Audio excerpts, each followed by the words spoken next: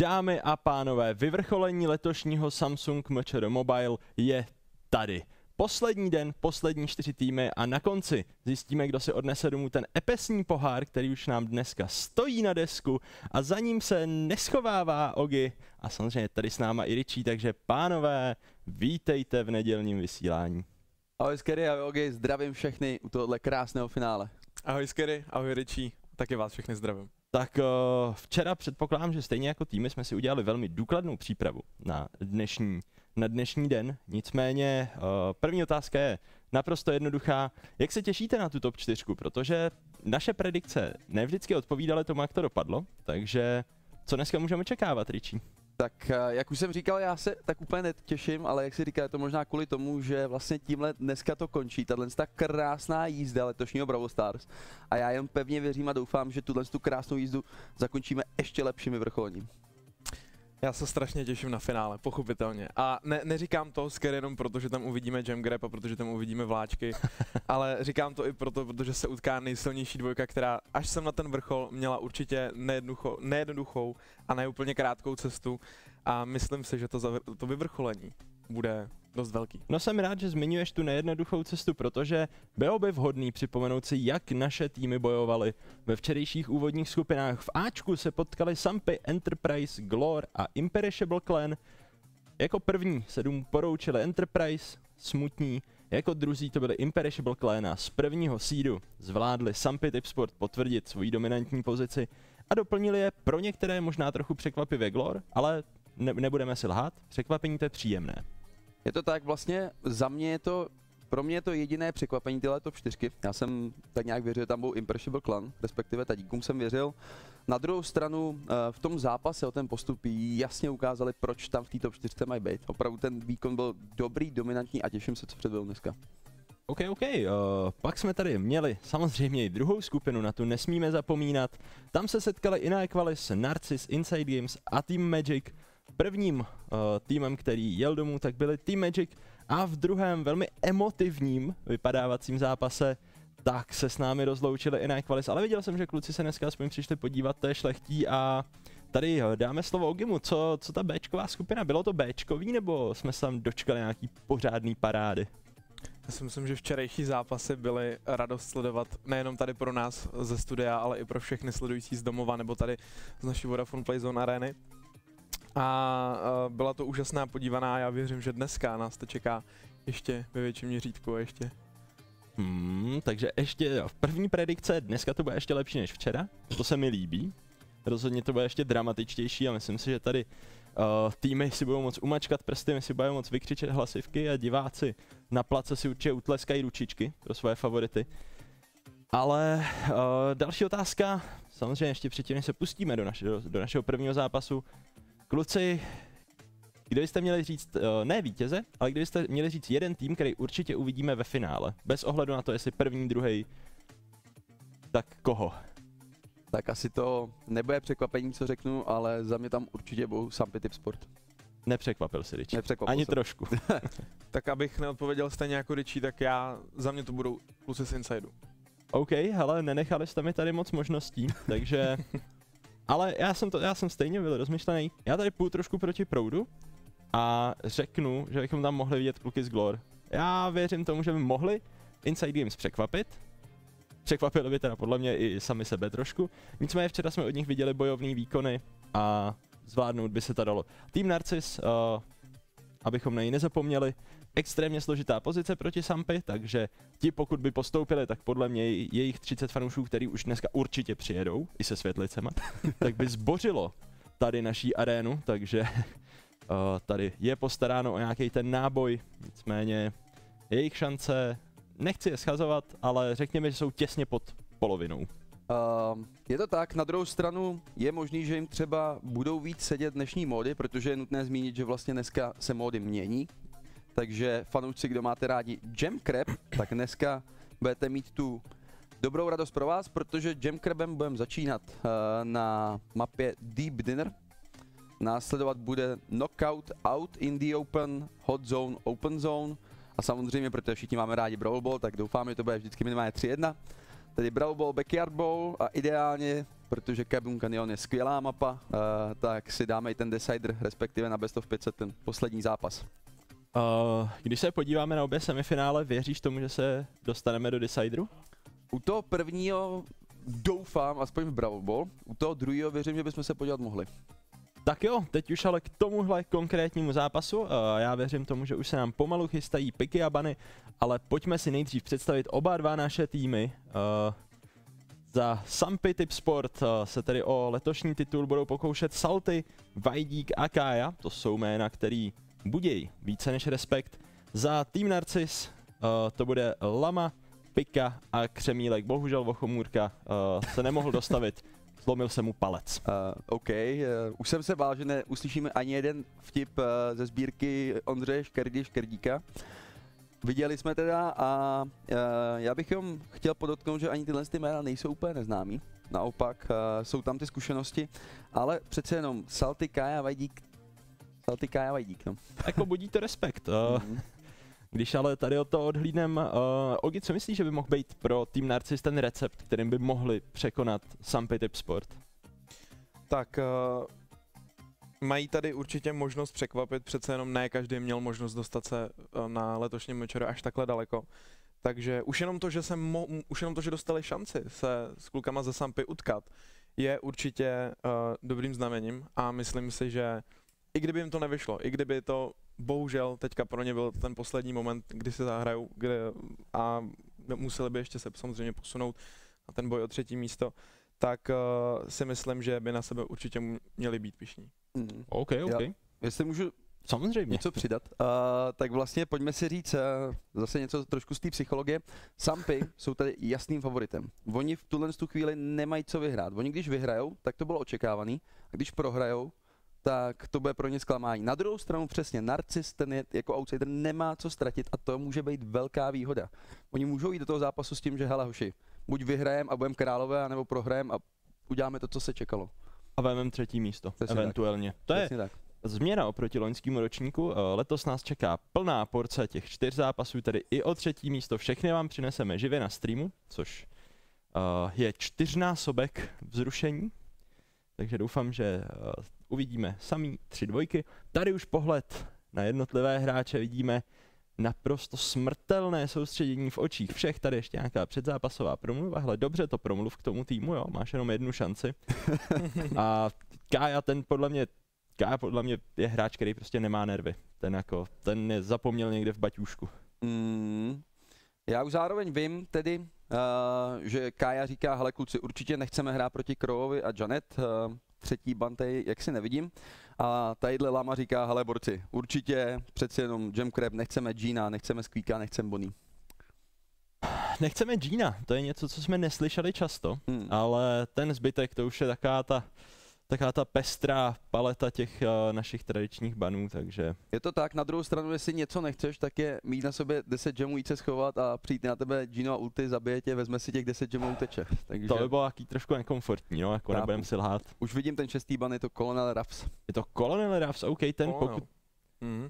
S tím Jeanem naprosto souhlasím, přece jenom uh, zrovna na tom eventu Jam Grab je to brawler, který je dost, dost oblíbený pick a myslím si, že to může trošičku zamíchat s finální kompozicí, uh, kterou tady nakonec uvidíme. Pojďme si třeba říct, co byste si vzali vy, kluci, na mapu, na mapu Deep Diver. Mm, Máte tady nějaký svý favority, nějaký svý oblíbený picky? já se přiznám, hele, tady, tady to bude špatný za mě, já se přiznám, že asi v oblíbený pick na tuhle mapu úplně nemám, ale intuitivně bral bych, uh, bral bych na mid něco, co přežije, něco, co odnese ty gemy a zároveň to prostě jako neumře na dvě Hmm. rány, no. Já bych se vůbec nebál pikovat, ale to je asi na všechny mapy, na všechny mody boa. Tadyhle i je klidně, klidně do té pozice toho gem kolektora, přesně na ten mid. Já bych jako na Gin Collectora klidně zkusil vzít Surge, přece jenom viděli jsme ho tady nejednou na, uh, na našem bitevním poli, ale co už teďka taky můžeme vidět, je finální hra a finální kompozice, který tady hráči zvolili, takže na straně Sampy vidím Karla, vidím uh, u Vajdíka Penny a Salty, tak ten si vytáhl, uh, je to Janet?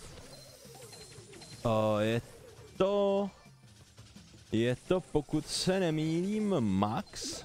Dopádně Uh, zajímavý Pravda, kompozice na obou stranách. Ty, ty skiny nám to vždycky hrozně zavaří. Já, Já už jsem zavedem pravidlo, že musí prostě hrát to s normálníma basic brawlerama. Nicméně tady Sampy od začátku předvádí to, co jsme od nich očekávali, takže naběhli na střed Salty, tam svojí rychlostí sbírá, co se dá, zatlačili Narcis hodně, hodně do defenzívy. A ti tady jsou zatím na nule proti osmi těmům v modrých barvách. Solty se naprosto krásně drží toho středu, sbírá už devátý gem na stranu Sampy. A prchá, samozřejmě jeho rychlost je tady obrovskou výhodou, nejenom k tomu, aby se rychle dostal na střed, ale aby taky od něj rychle utekl. Support, který dostával od svých teammateů od VDKK, je tady naprosto krásně vidět. Kluci se snaží, co to jenom jde, 7 vteřin do konce. A jestli to tady Salty ještě udrží ty tři vteřinky, tak si myslím, že první bodíček je jasný a jde na stranu Sampy. První bodíček naprosto jasný a naprosto zasloužený. Tady uh, Sampy ukázali, že dneska vstali správnou nohou z postele. Narcis uh, taky, ale bylo krásný vidět, jak vlastně kluci v modro-černých drezech tak hráli tak nějak jako uh, pro, pro Saltyho, řekněme. Oni si moc dobře uvědomují, že pokud uh, jejich jejich Gem Collector padne, tak je celá hra téměř ztracena. Takže tam hezky vyšli vstříc a teď už vidíme i první gem pro tým Narcis, takže neodejdou tady s nulou naštěstí. Přímínek Ne. si drží ten jeden gem, zuby nechty, utíká s 11 stovkou poslední životů, už ale schytává nějaký healy. Solty ale opět převzal pod svojí moc, pod svých spáry. Ten střed, který si drží se svojí rychlostí, tam jenom tak vždycky prožene, sebere si ten gem a zase zdrhne zpátky.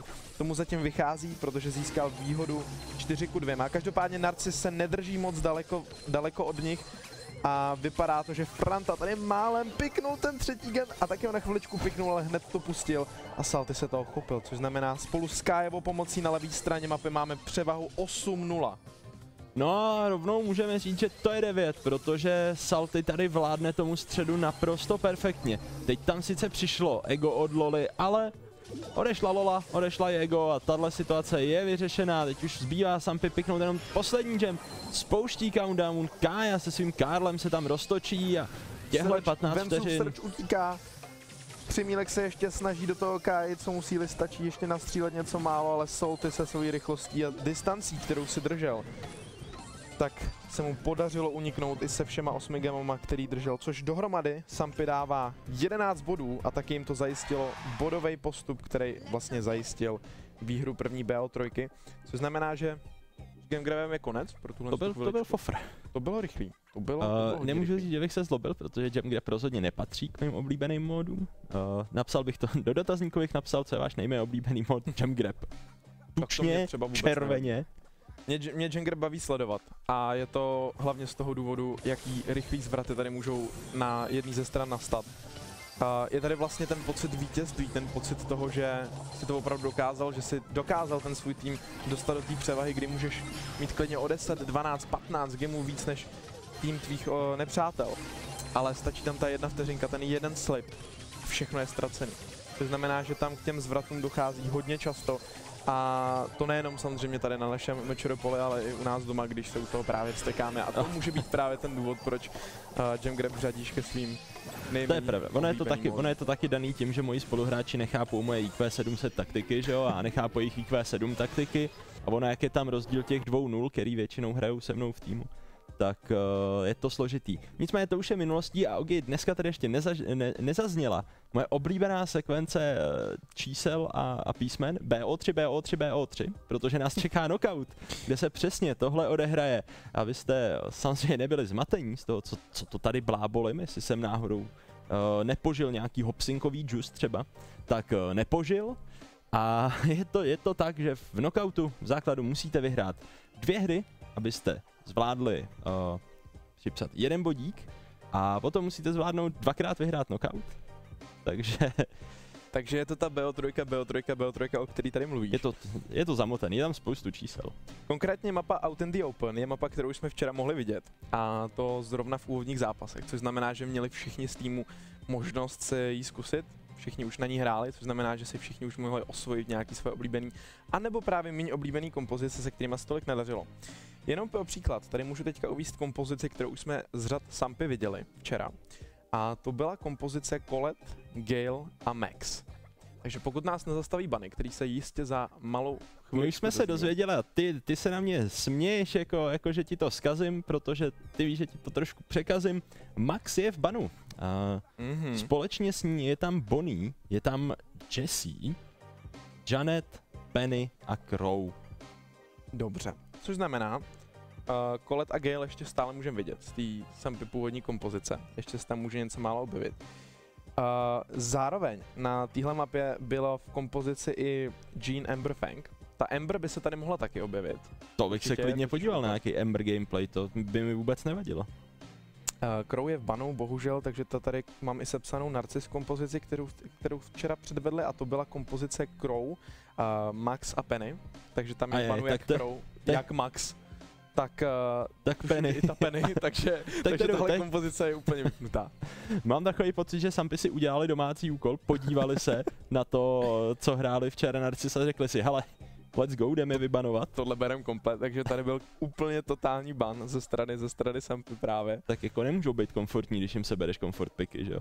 No určitě už to budou uncomfort picky v tuhle chvíli. To- Uh, ale ne, hele, kluci z Narcisu vypadají na stage úplně v klidu, soustředěně.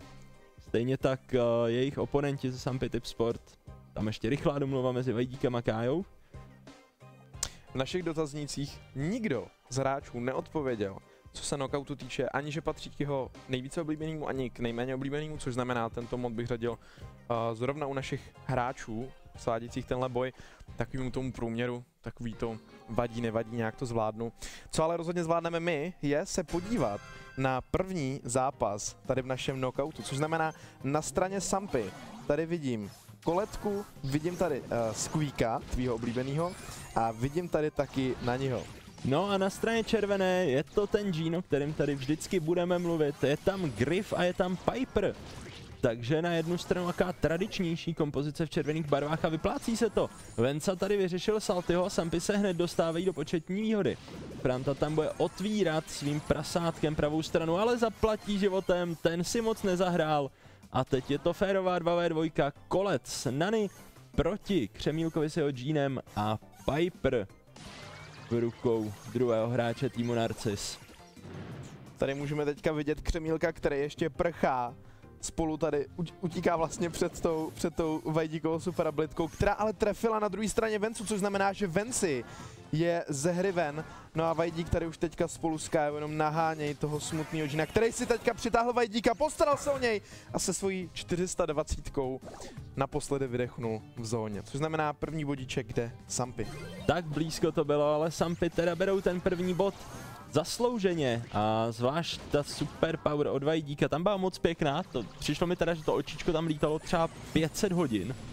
Byl jsem Ale- překvapený, že to ještě stihlo vůbec, jako doletět až, až na je to toho... tak a podívej se na to, teď tam najednou zmizela Piper někde mimo záběr a mám pocit, že Vajdíky opět vypátral svým pátravým okem, takže početní převaha pro Sampy a teď už eh, tady hrajou ve velkém komfortu.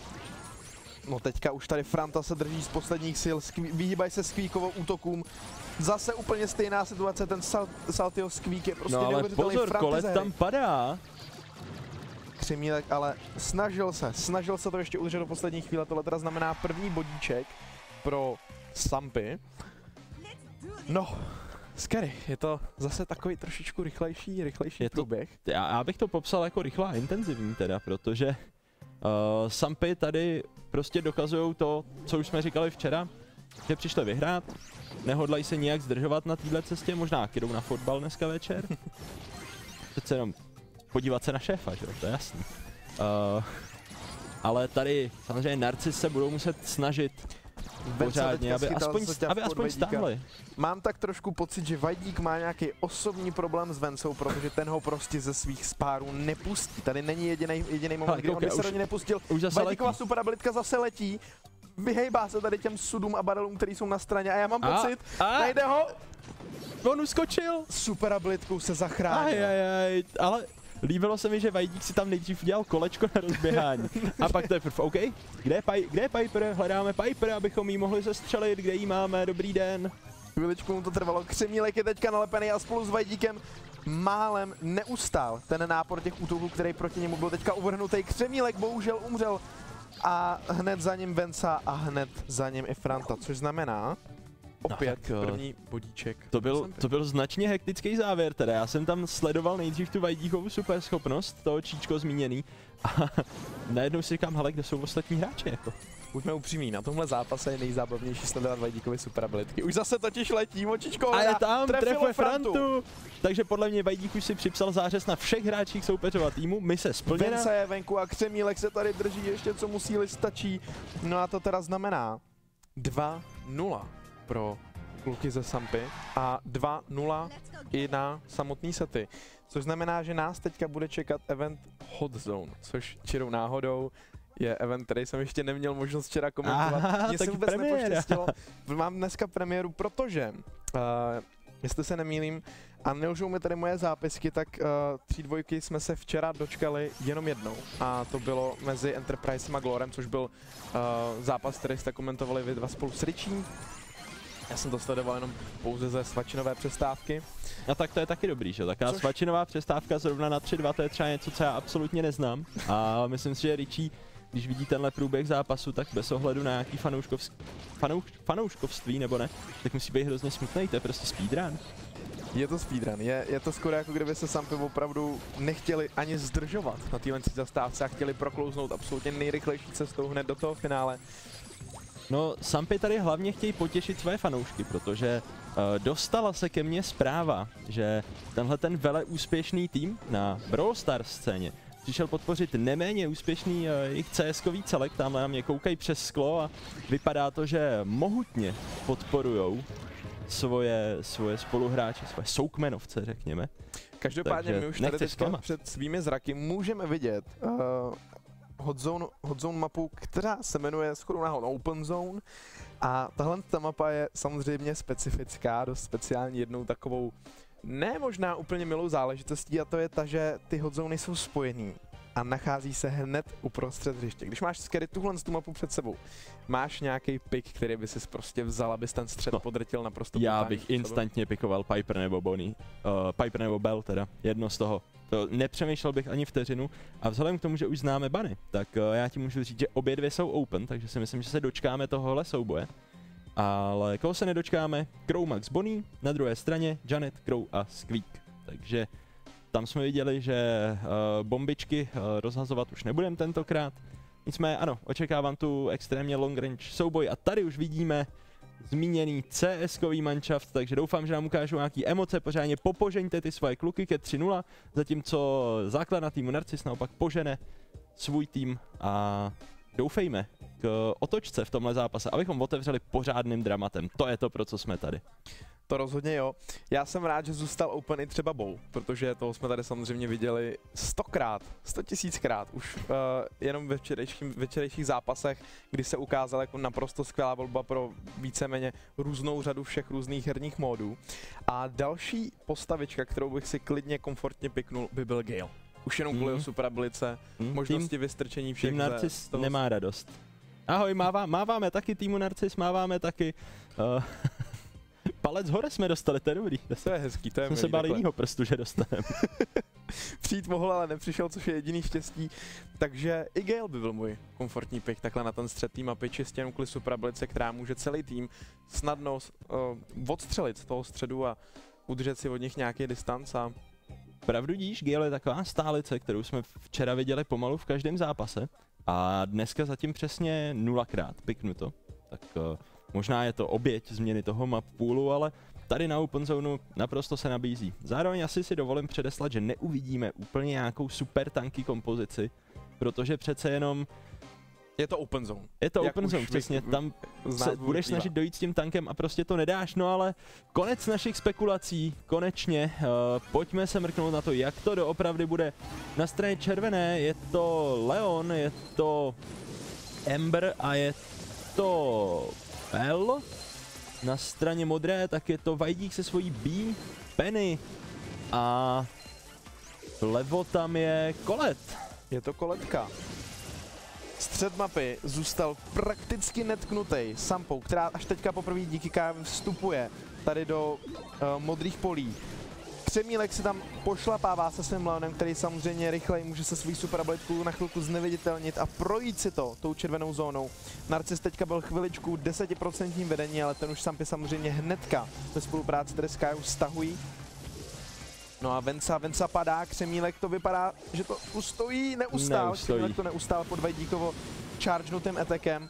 No a tady už se Sampy dostává do docela většího vedení, který už tady může dost znamenat a dost změnit, protože 25% náskok už je něco, co se může stahovat docela blbě. No, je to pro ně hodně komfortní a hlavně oni to vedení pořád zvyšují a zvyšují. Vidíme, že i Kaja se svojí peny tam šikovně položil tu turetu, která může dál ostřelovat tu hot zónu.